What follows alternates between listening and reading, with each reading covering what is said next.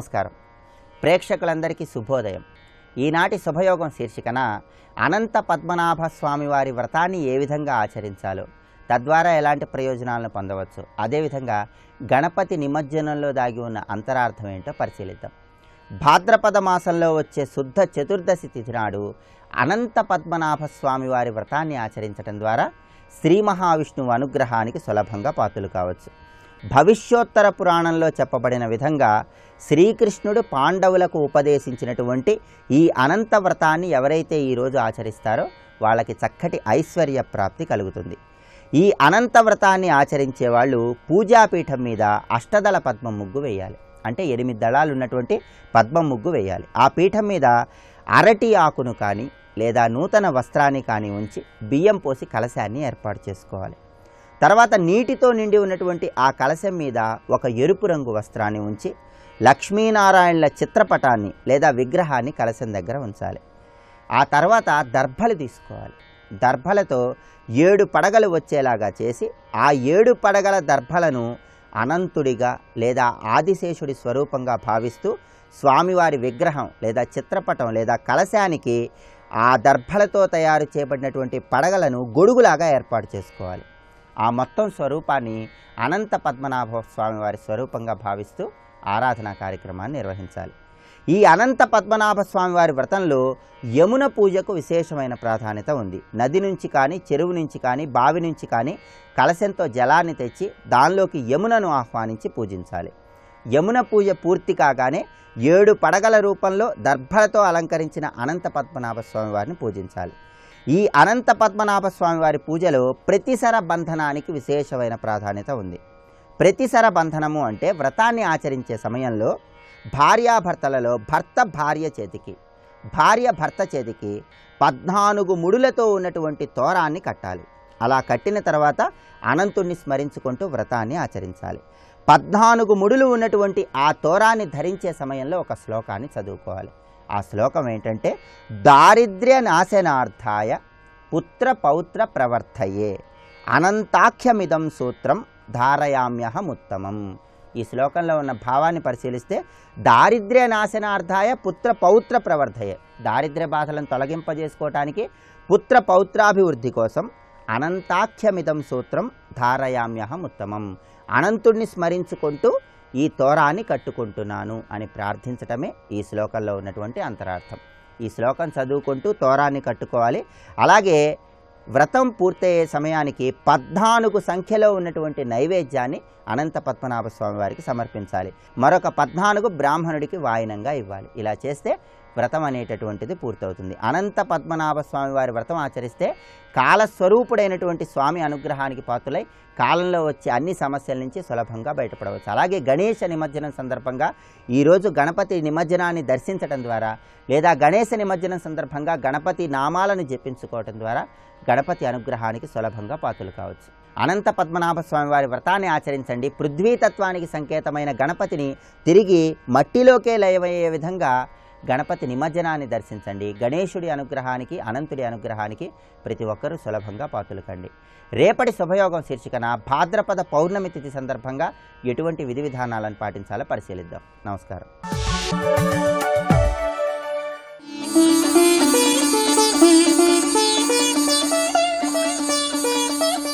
కరీంనగర్ జిల్లా కొండగట్టులో కొలువైన శ్రీ ఆంజనేయ స్వామి వారి ఆలయాన్ని మీ ముందుకు తెస్తోంది మీ ఆరాధన. ॐ श्री आञ्जनेयाय नमः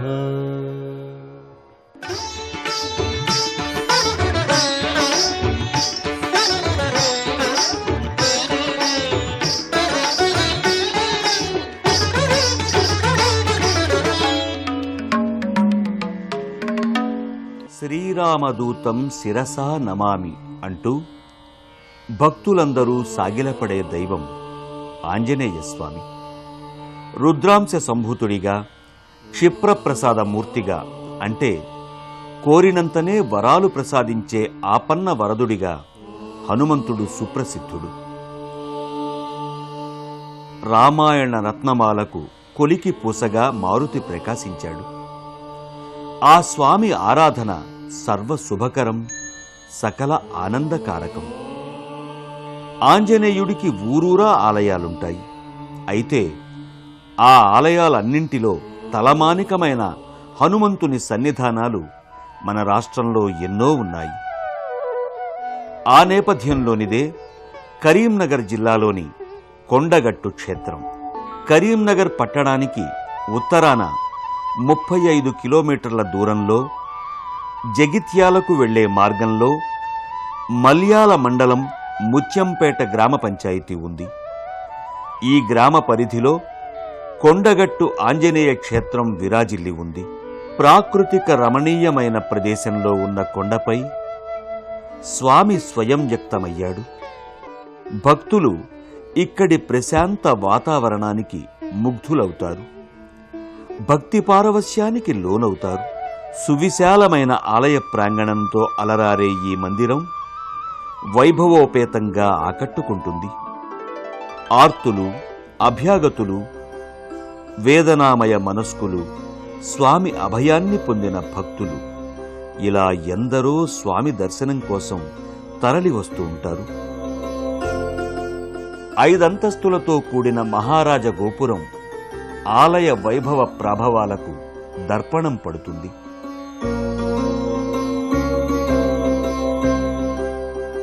ఈ గోపురంపై పలు భంగిమలలో హనుమద్ విగ్రహాలుంటాయి. గోపురానికి ఇరువైపులా ద్వారపాలకులుంటారు.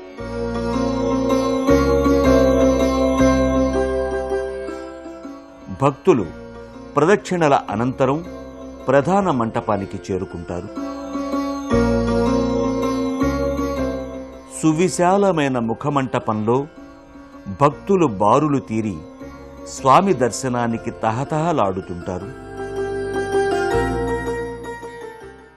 గర్భాలయంలో ఆంజనేయ స్వామి మూల విరాట్ మూర్తి నారసింహ వక్త్రంలో విలసిల్లుతోంది. కొండగట్టు అంజన్నను సేవించుకున్న భక్తులకు అభయానందాలు దక్కుతాయని భక్తుల ప్రగాఢ విశ్వాసం. అంజనా గర్భ సంభూత కపీంద్ర సచివోత్తమ రామప్రియ నమస్తుభ్యం.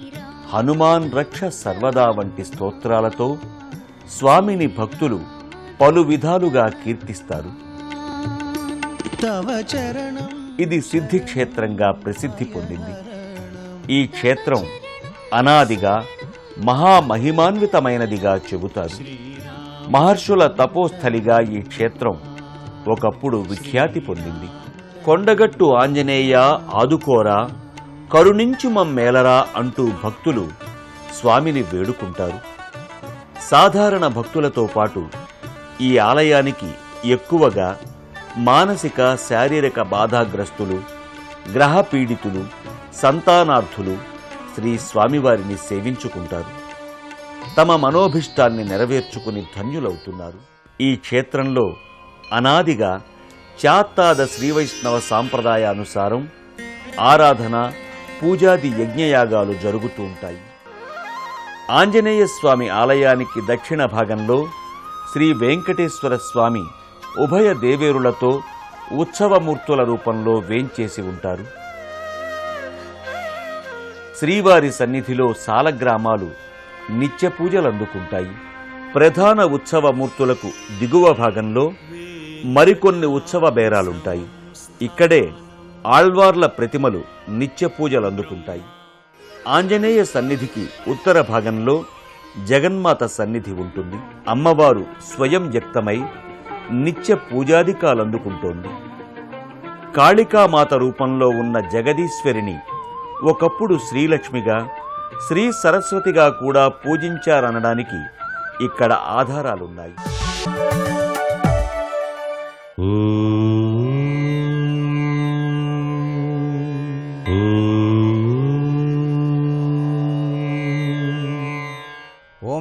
నారాయణాయ. ఓం నమశివాయ శ్రీమాత్రే నమ.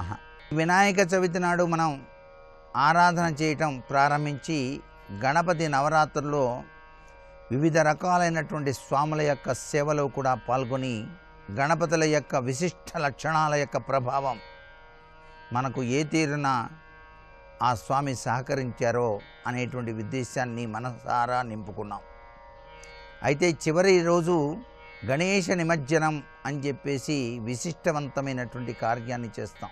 ఇక్కడ చేసేటువంటి మహాగణపతి నిమజ్జనం సర్వశక్తి సంపన్నత లక్షణాన్ని మానవాళికి అదృష్టకరమైన ప్రభావాల్ని ఈ యొక్క సృష్టి అంతా కూడాను సుసంపన్నతను నింపుకోవటానికి సహకరిస్తుంది.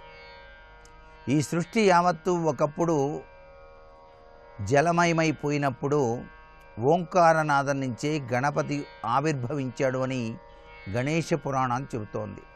అందుచేత మనం ఈ గణేష నవరాత్రుల్లో చేసినటువంటి వివిధ రకాలైనటువంటి పూజలు వాడినటువంటి పత్రాలు పుష్పాలు ఈ నిమజ్జనం రోజు స్వామివారి విగ్రహంతో సహా ఆ యొక్క నీటిలో కలుపుతాం. ఇవన్నీ మట్టితో చేసిన గణపతులు కాబట్టి ఆ పృథ్వీతత్వ స్వరూపంగా స్వామివారు సాక్షాత్కరిస్తూ ఉన్నాడు కాబట్టి ఆ పృథ్వీలోనే ఆయన లీనమైపోయి మనందరికీ కూడాను సస్యశ్యామలవంతమైనటువంటి ప్రభావాన్ని మానవాళికి వివిధ రూపాలలో వివిధ రకాలుగా ఆ స్వామి మనకు ప్రసాదించే అమృతతుల్యవంతమైనటువంటి విధి విధాన సంప్రదాయమే గణేష ఆరాధనలో దాగినటువంటి గొప్ప లక్షణం. అందుకనే మనసంతా జై జై గణేశ జై జై గణేష్ అంటూ ఆ స్వామికి జయ జయ నాదాలతో వివిధ రకాలైనటువంటి భక్తి భావన స్ఫూర్తితో స్వామికి నిమజ్జనం చేసి తరించేటువంటి లక్షణం మన భారతీయ సనాతన సంప్రదాయం. సర్వే జనా సుఖినో భవంతు.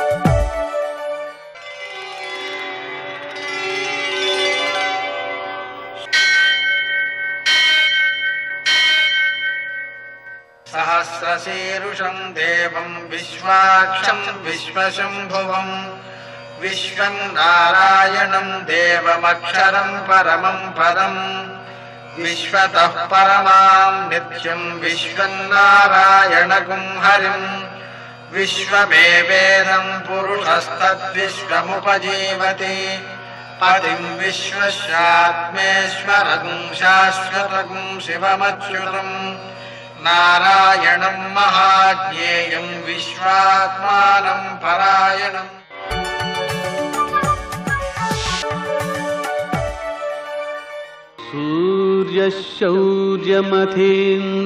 सूर्यशौर्यमथेन्दुरिन्द्रपदवी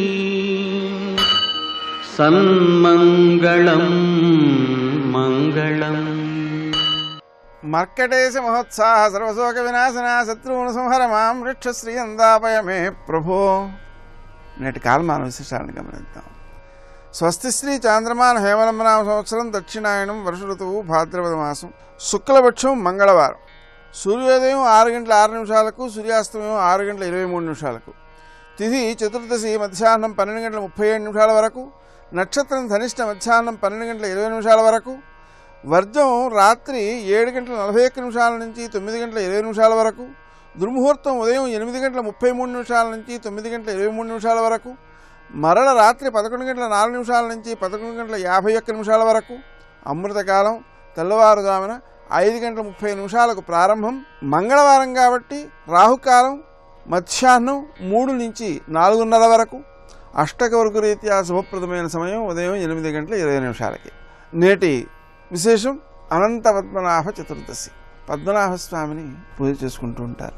పద్నాలుగు ముడులు కలిగినటువంటి తోరాలు అలాగే పద్నాలుగు దర్భలతో ఏడు పడగలతో ఏర్పడేటువంటి ఆ అనంత పద్మనాభ స్వామిని పూజ చేయడం పద్నాలుగు అప్పాలు నివేదన చేయడం పద్నాలుగు అప్పాలు వాయనం ఇవ్వడం పద్నాలుగు ప్రదక్షిణాలు చేయడం ఇవన్నీ కూడా మనకు ఆ వ్రతాచరణలోని భాగాలు.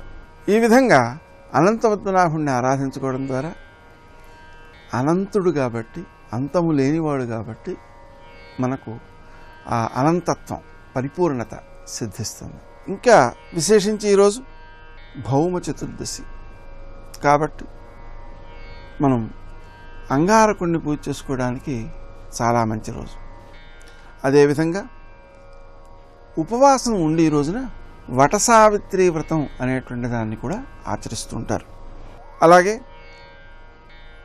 సాయంకాలపు వేళ అంటే సూర్యాస్తమయం తర్వాత పౌర్ణమి ఉంది కాబట్టి రాత్రి వేళ చేసేటువంటి పూర్ణిమ పూజ అలాగే ముప్పై మూడు పూర్ణిమల నోము ఇలాంటివన్నీ కూడా చంద్రపూజతో సంబంధం ఉన్న వాటిని ఈరోజు రాత్రి చేసుకుంటూ ఉంటారు. అలాగే పూర్ణిమ సందర్భంగా ధ్యానం చేసేటువంటి ప్రక్రియ కూడా ప్రత్యేకించి చేస్తుంటారు. ఈరోజు మరో ముఖ్య విశేషం సర్వేపల్లి రాధాకృష్ణ గారు జన్మించిన రోజు. ఆ రోజు ప్రభుత్వం వారు టీచర్స్ డే అనే పేరుతో ప్రకటించారు. ఆ కారణంగా ఈ పాఠశాలల్లో కళాశాలలలో కూడా తమ తమ ఉపాధ్యాయులను ప్రత్యేకించి సన్మానించుకుంటూ ఉంటారు విద్యార్థులు. మరో ముఖ్య విశేషం వినాయక నిమజ్జనం. వినాయక చవితి నుంచి మనం గణపతిని ప్రతిరోజు కూడా పూజించుకుని ఈ రోజున ఊరేగింపుగా తీసుకువెళ్ళి నదీ జలాలు కానీ లేక సముద్ర జలాలు కానీ చెరువుల్లో కానీ ఆ స్వామిని నిమజ్జనం చేస్తుంటాం ఆ రకమైన భక్తి ప్రపత్తులతో స్వామిని నిమజ్జనం చేయడం అనే కార్యక్రమానికి ఈరోజు ముఖ్యమైన రోజు. నేటి ఆణిముత్యాలు.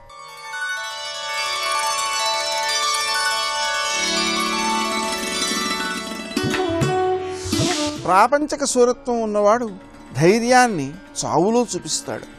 ఆధ్యాత్మిక సూరత్వం ఉన్నవాడు ధైర్యాన్ని బ్రతకడంలో చూపిస్తాడు.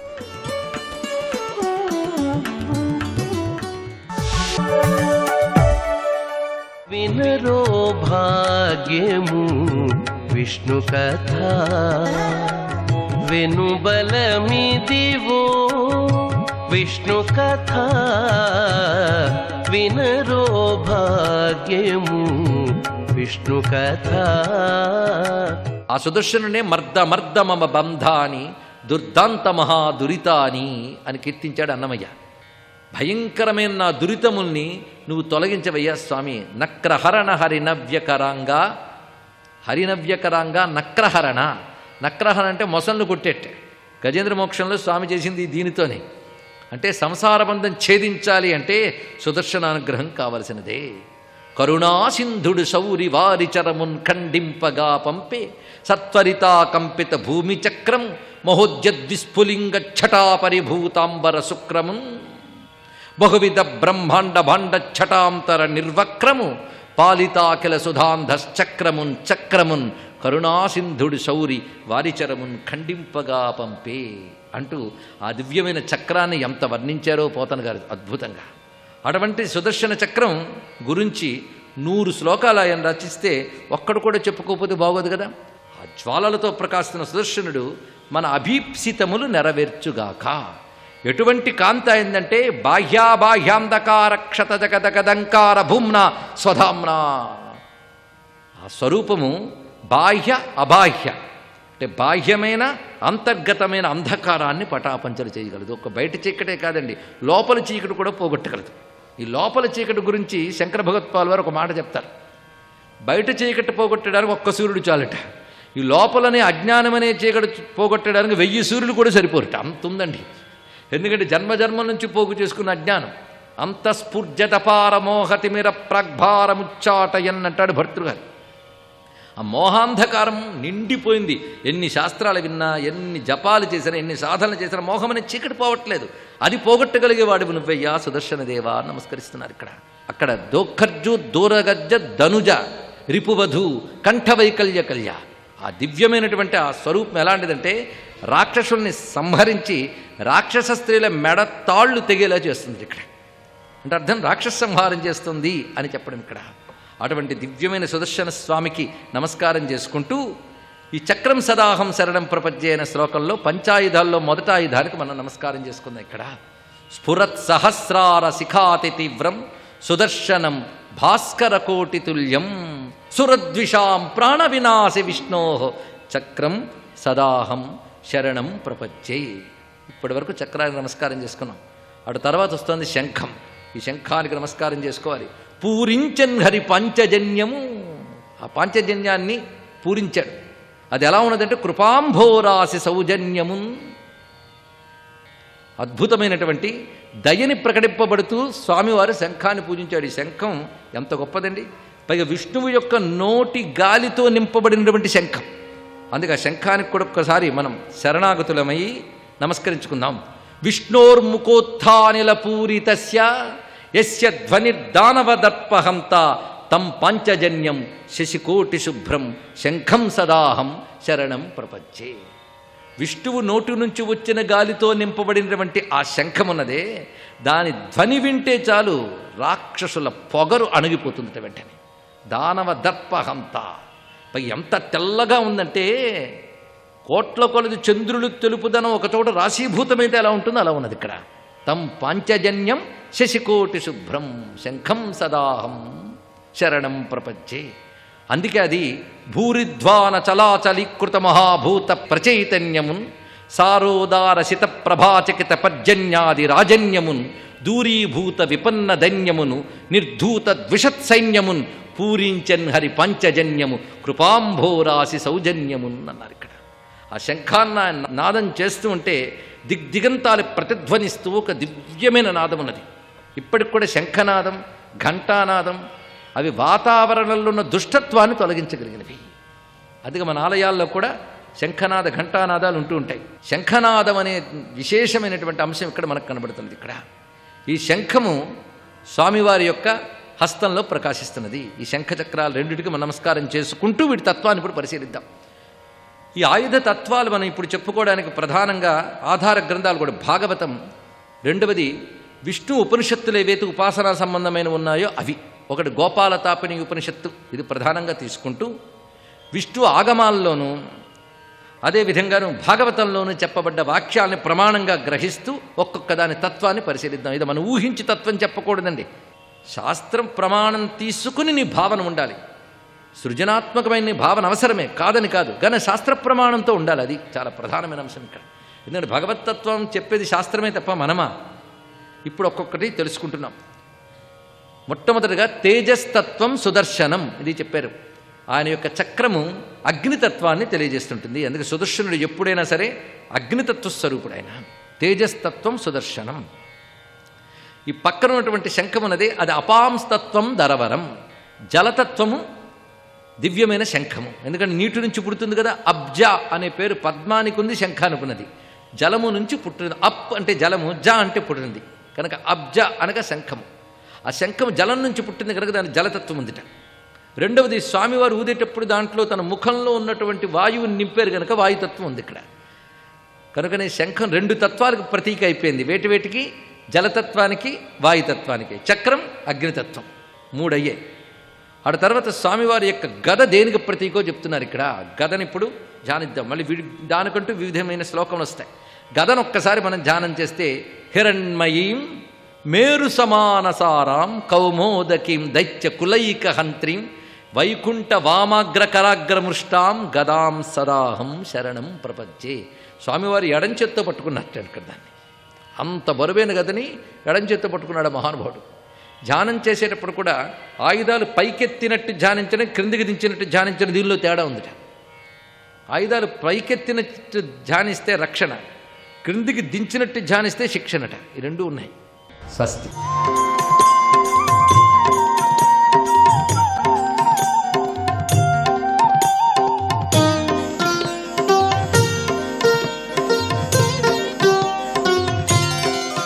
శ్రీమాత అని ప్రారంభం లలితా సహస్రనామం. ఆవిడ శక్తి ఎంత? అంటే కొలవడానికి ఇంకా ఏమీ ప్రమాణం ఉండదు లోకంలో. అంతటి అపారమైనటువంటి శక్తివంతురాలు. ఆవిడ కేవలం శక్తివంతురాలే కాదు అపారమైనటువంటి దయాదాక్షిణ్యములు కలిగినటువంటి తల్లి కనుక మనందరి యొక్క అభ్యున్నతి కొరకు ఆమె కారణమవుతూ ఉంటుంది. ఇవే ఆవిడ నామాలుగా ప్రకాశించాయి. నామము అని నేను అన్నప్పుడు గుర్తుపట్టడానికి తల్లిదండ్రులు పెట్టినటువంటి లౌకికమైన ఒక పేరు అని అనుకోకూడదు. తల్లిదండ్రులు ఒక పేరు ఉంచారు. ఎందుకని అంటే ఎంతమందిలో ఉన్నా పిలిస్తే ఆ పేరుతో తాదాత్మ్యత పొందడానికి ఆ పేరు చేత గుర్తింపబడడానికి వీలుగా ఒక పేరు ఉంచుతారు. అది లౌకికమైనటువంటి నామం. కానీ భగవంతుడికి వచ్చేటటువంటి నామాలు అలా రావు. ఆయనవి గౌణములు. గౌణములు అంటే ఆయన యొక్క గుణములను ఆవిష్కరిస్తాయి. ఆయన అనండి ఆవిడ అనండి భగవత్ తత్వమునందు లింగభేదమునకు అవకాశం ఉండదు స్త్రీ పురుష నపుంసక మూర్తియును కాక తిర్య కమర నరాది మూర్తియును కాక కర్మ గుణ భేద సదసత్ప్రకాశి కాక వెనుక విభుతలంతు అంటారు పోతన గారి భాగవతంలో. అది ఒక భా కాంతి స్వరూపం. దాన్ని మీరు ఏ పేరు పెట్టి పిలవండి పలుకుతుంది. అందుకే దానికి లింగభేదం ఉండదు ఆ భగవత్ శక్తికి ఆ భగవత్ తత్వానికి. అటువంటి భగవత్ తత్వము ఏదైతే ఉందో అది ఉదారమై అపారమైనటువంటి ఉద్ధరణ హేతువులైనటువంటి కొన్ని గుణములను ప్రకటనం చేస్తూ ఉంటుంది. భక్తులను ఉద్ధరించడానికి కొన్ని గుణాలు బయటికి వస్తూ ఉంటాయి. ఆయా గుణములు భగవత్తత్వము నుండి ప్రకాశించినప్పుడు ఆయా పేర్లతో పిలవబడుతుంది. అంతేకాని అది ఆవిడ పేరు అని అనుకోకూడదు. నేను మీకు ఒక ఉదాహరణ చూపించాలి అంటే అమ్మవారిని పిలిచేటప్పుడు శర్వాణి అని ఒక పేరుతో పిలుస్తాం. పరమమంగళప్రదమైనటువంటి పేర్లలో ఒక పేరు శర్వాణి అనబడేటటువంటి నామం. ఎవరు శర్వాణి? శర్వుని భార్య ఎవరో ఆమెకి శర్వాణి అని పేరు. ఎవరు శర్వుడు? శర్వుడు అన్న మాట విష్ణు సహస్రనామ స్తోత్రంలోనూ ఉంటుంది. పరమశివుడికి ఉంటుంది. శివుని యొక్క అష్టమూర్తి తత్వంలో శర్వ అని ఒక నామం. భవాయ దేవాయ నమ ఈశానాయ దేవాయ నమ పశుపతయే దేవాయ నమ రుద్రాయ దేవాయ నమ ఉగ్రాయ దేవాయ నమ భీమాయ దేవాయ నమ మహతే దేవాయ నమ శర్వాయ దేవాయ నమ అని క్షితిస్వరూపుడై ఉంటాడు. ఈ భూమికంతటికీ కూడా శివస్వరూపమని పేరు. అందుకే కాంచీపురంలో పృథివీలింగ స్వరూపంలో ఉంటాడు. పృథివీలింగ స్వరూపంలో ఉంటాడు కనుక ఆయనకి అభిషేకం నీటితో చెయ్యరు. కరిగిపోతుంది కాబట్టి లింగం. కాంచీపురంలో ఉన్నటువంటి పృథివీలింగానికి అభిషేకం మాత్రం కేవలం మల్లె నూనెతో మాత్రమే చేస్తారు. అటువంటి పృథివీ స్వరూపం పరమేశ్వరుడైతే అమ్మవారు ఎప్పుడూ ఆయనతో కలిసే ఉంటుంది తప్ప ఆయన నుంచి విడివడి ఉండదు. అవి రెండు కలిసి ఉంటాయి. అమ్మవారు అయ్యవారితో కలిసి ఉంటుంది అన్న మాటని మీరు బహుజాగ్రత్తగా గమనించాలి. కలిసి ఉంటుంది అంటే రెండుగా ఉండి ఒకటైనది కాదు ఒకటిగా ఉండి రెండు కానిది అని అర్థం చేసుకోవాలి. ఒక ఉదాహరణకి నేను పాలు అన్నాను అనుకోండి పాలకి తెలుపు ఎప్పుడు వచ్చింది ఆ ప్రశ్న ఉండదు పాలంటేనే తెలుపు. పాలు తెల్లగా అయినవి ఉండదు. పాలు అన్నప్పుడే తెల్లగా ఉన్నాయి. పాల నుండి తెలుపుని విడదీయగలవా? సాధ్యం కాదు. దీపము. దీపమునకు కాంతి ఎప్పుడొచ్చింది?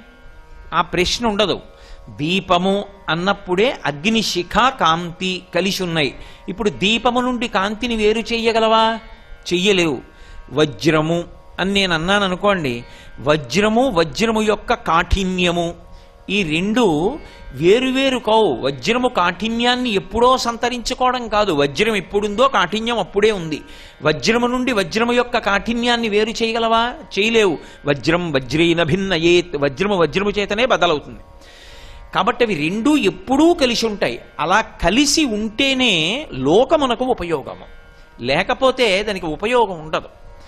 దానినే శివశక్తులు కలిసి ఉండుట అని పిలుస్తారు. మీకు ఇంకా బాగా అర్థమయ్యేటట్టు చెప్పాలి అంటే అవి రెండు ఎప్పుడు కలిశాయన్న మాట రాదు. రెండుగా ఉండి ఒకటి కానిది ఒకటి రెండుగా చెయ్యబడనిది ఇంకొకలా మాట్లాడాలంటే అసలు అలా రెండూ కలిసి ఉండకపోతే ఉపయోగము కానిది. అది శివం. అందుకే అవి రెండు కలిసి ఉండి ఉపయుక్తములవుతుంటాయి. తప్ప అసలు అవి రెండుగా ఉండి ఒకటి కానివి ఒకటై ఉండి రెండుగా చేయబడనివి రెండు కలిసి ఎప్పుడూ ఒకటిగా ఉండి ఉపయుక్తమైనవి. అవి శివశక్తులు. ఇప్పుడు అటువంటిది కాబట్టే మళ్ళీ కలిసిపోయినప్పుడు ఇక శివశక్తులని రెండు ఉండవు శివా అయిపోతుంది. శివ పరమశివుడు శివా అమ్మవారు. ఇంకా మళ్ళీ వేరు పేరు ఉండదు. ఆ పేరులో దీర్ఘం చేతనే ఇద్దరు కలిసిపోయి ఉండిపోతారంతే. అలా ఉంటేనే ఉపయుక్తము.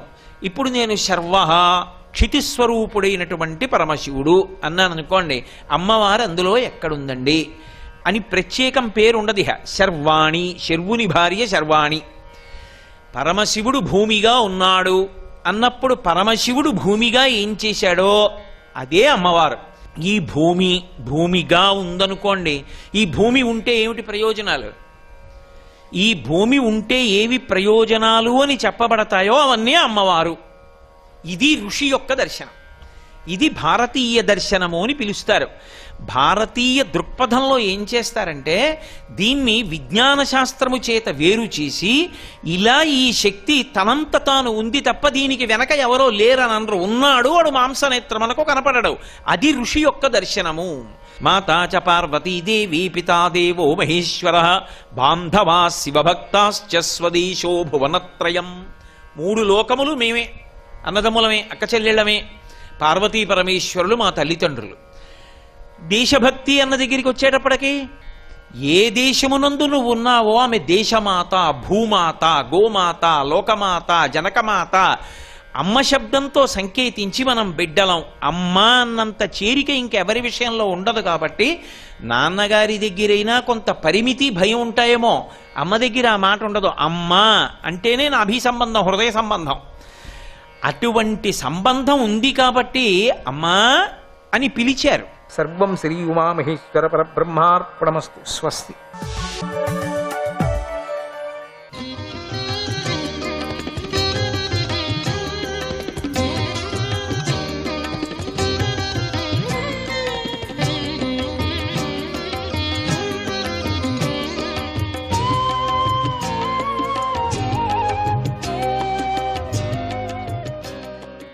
నారాయణ నారాయణ నారాయణ నారాయణ. ఊహలకు అతీతమైన వాడే ఆ పరమాత్మ అనుకున్నాం కదా. ఆయనే జగత్తుకు అధిష్టానము కూడా మనం మాట్లాడుకున్నాం. ఆ పరమాత్మ నుండి జగత్తు ఆవిర్భవించింది అని చెప్పుకున్నాం కదా. చైతన్య రూపుడైనటువంటి ఆ పరమాత్మ ద్వారానే జగత్తు ప్రకటమవుతున్నది. వేరే నుంచి ఇంకో చోట నుంచి ప్రకటమవుతుంది అనుకున్నాం.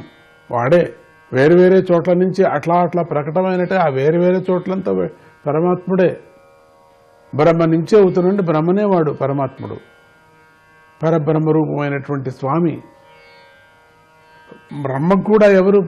పరమాత్ముడే బ్రహ్మకు కూడా. అందువల్ల బుద్ధికి అందని ఆ పరమాత్మ స్వరూపానికి నేను నమస్కారం చేస్తున్నాను.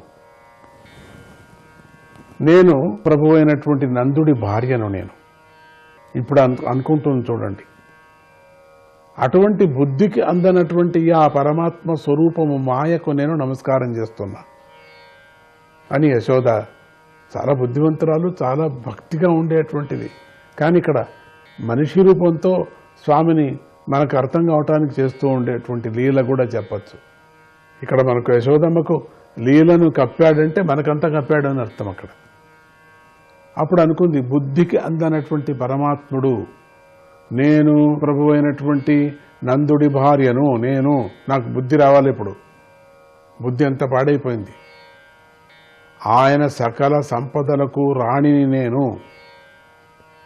నందుడు నా భర్త తాను అనుకుంటూ ఉన్నది. ఎక్కడెక్కడో వెళ్ళినట్టుగా ఉంది మనస్సు అందుకని తాను నిశ్చయించుకుంటుంది. ఈ కృష్ణుడు నా పుత్రుడు. ఇట్లా అంతా మొత్తం అనుకుంటుంది. నా భర్త ఇటువంటి వాడు. నేను రాణిని. అట్లా మనస్సు తీసుకొని వస్తూ ఉన్నది కిందికి. వాళ్ళందరూ నా వారు చుట్టూ ఉండేవాళ్ళు. నేను ఎవడి మాయతో మిథ్య సంకల్పాలకు కలిగి ఉన్నానో ఆ శ్రీహరియే నాకు శరణం అని ఈ విధంగా గోపిక అయినటువంటి యశోదమ్మ భావించింది ప్రార్థన చేసింది. ఆ పరమాత్ముడే నాకు శరణు. వాడే నాకు దారి చూపించాలా? వాడే నా మనసును సరిచేయాలా? వాడే ఈ తత్వాన్ని విచారాన్ని నాకు తెలిపేటట్టుగా నా హృదయంలో కలగాల. నేను ఇటువంటి దాన్ని నాకు కలగాల అని ప్రార్థన చేసిందట. ఆమెకు ఆత్మతత్వము తెలిసిపోయింది. అంతటితోనే ఆత్మతత్వాన్ని చెప్పేశాడు. ఈ శరీరంతో కర్మతో ఇదంతా నేను చేస్తున్నాను. నేను కాదు. నేను రాణినే కానీ రాణి కాదు. నందుడు నా భర్తుడు. కానీ నా భర్త కాదు. నాకు ఎవరు లేరు. వీళ్ళందరూ నావారు అనుకుంటున్నాను వీళ్ళందరూ నావారు కాదు. నేను అనేది లేదు. తత్వం తెలిసిపోయింది ఆవిడికి. కానీ నేను అనేటువంటి భావన తీసిపారేశాను. లేదు నాకు. అందుకని నేను అనేటువంటిది ఉన్నప్పుడు కదా ఇవన్నీ వస్తాయి నాకు. నేను అనేటువంటి భావన బుద్ధికి కలిగినప్పుడు మాయతో ఇవన్నీ కప్పబడతాయి. నేను అనేటువంటి విచారాన్ని తీసిపారేసినప్పుడు మనసు నుంచి అప్పుడు నాకేది కలగదు. అందుకని ఆమెకు ఆత్మతత్వం తెలిసిపోయింది. ఆమెకు ఆత్మతత్వాన్ని చెప్పేశాడు. నోరు తెరిచి చూపిస్తూ ఉండగానే స్వామి ఆత్మతత్వం తెలిసిపోయేటట్టు చేశాడు. అప్పుడు సర్వంతర్యామి జగన్నాథుడైనటువంటి విష్ణుమూర్తి స్వామి ఆయన కరుణామయుడు కదా అమ్మకు శాంతి చేయటానికోసం అమ్మకు మనస్సు సరి చేయటానికోసం జగన్నాథుడైన విష్ణుమూర్తి పుత్రాశక్తి రూపంలో ఉన్నటువంటి తన మాయను ఆమెపై ప్రసరింపజేశాడు. తన మాయను మొత్తం పుత్రాశక్తితో ఉండింది ఆవిడ. ఆ పుత్రాశక్తి రూపంలో ఉన్నటువంటి తన మాయ ఆమెకేమనిపిస్తుంది? పరమాత్ముడే అని అన్నప్పటికి కూడా నా పుత్రుడు అంటుంది. ఆసక్తితో ఉండినటువంటి ఆవిడ మీద తన మాయను ప్రసరింపజేశాడు. కరుణామయుడు కాబట్టి స్వామి అనుగ్రహించాడు. వెంటనే యశోదమ్మకు కలిగినటువంటి తత్వజ్ఞానం దూరమైపోయింది మళ్ళీ. కలిగించాడు. భావన వచ్చేసిన తర్వాత ఇక ఏం చేయలేదు ఆవిడ. ఇక అట్లా కూర్చుంటుంది.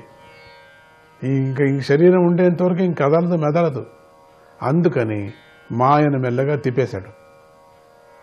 వెంటనే పుత్రాసక్తి కలిగినటువంటి గోపిక మాదిరిగా చేసేశాడు. ఇంతవరకు కలిగింది కదా ఈవిడికి. ఈవిక ఈవిడికి కలిగినటువంటి తెలివి. ఆ తెలివిని తీసేస్తున్న నేను అనే భావన తీసేసిన తర్వాత ఏం లేదు. అనే ఫైనల్ వెళ్ళిపోయింది ఇక.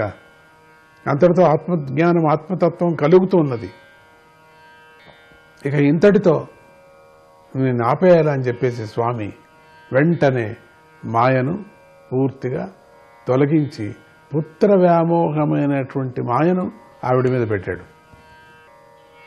వెంటనే గోపిక అయినటువంటి యశోదమ్మకు కలిగినటువంటి తత్వజ్ఞానం తత్వజ్ఞానం దూరం అయిపోయింది ఎంతసేపు ఉండకూడదు. మళ్ళీ కథ జరగద్దు. కృష్ణుడి కథ జరగద్దు ముందుకి. శ్రీకృష్ణుని యొక్క కథా లీలలు జరగకపోతే ఎట్లా? ఒక్కపారి ఆ మాయను కప్పేస్తే అమ్మ అమ్మ మీద. ఇక అమ్మనే లేకపోతే కథ జరగదు కదా. అందుకని మాయను మెలగలాగేశాడు అప్పుడు పుత్రుడిని ఒడిలో కూర్చోబెట్టుకున్నది. అప్పుడు ప్రపంచానికి వచ్చింది. వస్తూనే పిల్లని ఎత్తుకుంది. కృష్ణుడిని ఎత్తుకొని ఒడిలో కూర్చోబెట్టుకుంది. అప్పుడు జ్ఞాని జ్ఞానం రాలేదు. ఆమె హృదయంలో పూర్వం ఉన్నట్లుగా పుత్ర ప్రేమ నిండుకున్నది. మొదట్లో నీ ఎట్లా ఉందో ఆ విధంగా. ఇంతవరకు పుత్ర ప్రేమ లేదు. ఆవిడ మహాజ్ఞానిగా కనపడింది. అక్కడ పుత్రుడు లేదు ఎవరు లేరు ప్రపంచం లేదు ఏమీ లేదు. ఆ క్షణములో ఇక చాలు అనుకున్నాడు స్వామి. అనుకొని విష్ణుమాయ ప్రయోగించేసినటువంటిది వాపస్ తీసేసుకున్నాడు ఆవిడ పూర్వంలాగా అయిపోయింది. పూర్వంలాగా ఒక గోపికలాగా అయిపోయింది. యశోదమ్మ గోపికలాగా అయిపోయింది. పూర్వం ఉన్నట్లుగానే పుత్ర ప్రేమ నిండుకున్నది ఏడుస్తూ ఉన్నది ఇప్పుడు. గట్టిగా కౌగిలించుకొని తన తొడ మీద కూర్చోబెట్టుకుంది చిన్నారి కృష్ణుణ్ణి. వేదాల చేత ఉపనిషత్తుల చేత ఆత్మనిష్ట కలవారి చేత కర్మయోగుల చేత భక్తుల చేత కీర్తింపబడేటువంటి గొప్ప మహిమ గల శ్రీహరిని ఆమె తన కుమారుడుగానే భావించసాగింది. అప్పటి నుంచి మనసులో వచ్చేసింది. వేదాంతులు పొగిడేటువంటి స్వామి. మహాత్ములు ఎప్పుడూ శరణు శరణు అని వేడుతూ ఉంటారు. దాసాది దాసులు అందరూ కూడా స్వామిని వేడుతున్నారు. ఎవరికి అందనటువంటి పరమాత్ముడు అటువంటి శ్రీహరి నా కుమారుడు అనేటువంటి భావన స్వల్ప కొంచెం కొంచెం కలిగింది. స్వల్ప స్వల్పంగా కనుక కలిగింది అనుకుంటున్నాం. అంటే కొంచెం కొంచెంగా కొంచెం కొంచెంగా కలుగుతూ వచ్చింది. శ్రీహరిని ఆమె తన కుమారుడినిగానే భావించసాగింది. ఇట్లా అంత అటువంటి పరమాత్ముడు నా కుమారుడు అనుకుంది. అట్లా ఆ భావన అప్పుడు వచ్చేసింది. ఎవరు ఈ పరమాత్ముడి కోసం కష్టపడుతున్నారో మహాత్ములు అటువంటి పరమాత్ముడు నా కుమారుడు అనే భావన అంతవరకు రాలేదు. ఏదో చర్మ శరీరంలాగా చూసుకొచ్చింది. మామూలుగా పిల్లల కంటే ఎట్లా పిల్లల్ని చూస్తామో ఆ విధమైనటువంటి భావనతో చూసుకొచ్చింది ఇంతవరకు. కానీ ఇప్పుడు ఈ ఘటన అయిన తర్వాత ఆమె యొక్క మనస్సులో మారిపోయింది కొంచెం. బుద్ధి మారింది. మాయను తీసినప్పటికి కూడా శరీరానికి అంటుకున్నటువంటి మాయ ఉంది కదా బుద్ధికి అంటుకున్నటువంటి మాయ మాత్రము అట్లా కొంచెం ఉండింది. దాంతో పరమాత్ముడు భావన కలిగింది. అంతవరకు కలగలేదు. మాటి మాటికి దిట్టు తీయటం మాటి మాటికి ఏదేదో చేస్తూ వచ్చింది. ఏడ్చడం ఒత్తుకోవటం ఇట్లంతా చేసింది. ఎవరైనా చెప్తే చాడీ మాట చెప్తే కొట్టడం ఇట్లంతా ఏదేదో చేసుకొచ్చింది కొన్ని రోజులు. ఇప్పుడు అది పోయింది. ఈ శ్రీహరి అందరికీ కావలసినటువంటి వాడు పరమాత్ముడే. సందేహము లేదు. నా కుమారుడే అనేటువంటి భావన కలుగుతూ వచ్చింది అన్నాడు సుఖమహర్షి. అప్పుడు ముందుకు పరీక్షిత్ మహారాజ్ ఏం అడుగుతాడో చెప్తా అనుకుందామా? చెప్పుకుందాం తర్వాత. సంకర్షణాయ నమ.